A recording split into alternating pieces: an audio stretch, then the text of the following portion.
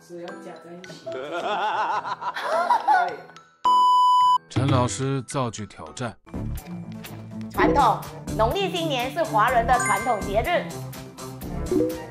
端午节是华人的传统民俗。学习，我们要多多学习华文。是要加在一起。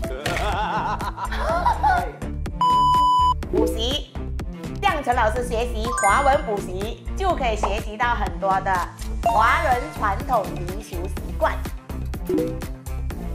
参加华文补习，不只是会学习到华人的传统文化习俗，态度，我们要以勤劳、认真的学习态度来补习，才可以学习到更多的华文传统民俗习俗和文化。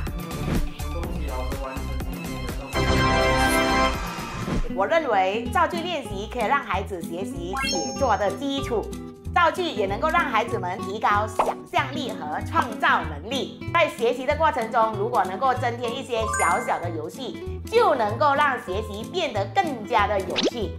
这个时候，学生学习知识就会变得更加的认真和努力。我是陈老师 Pretty Chi，多关注我，你将会得到更多的华文知识。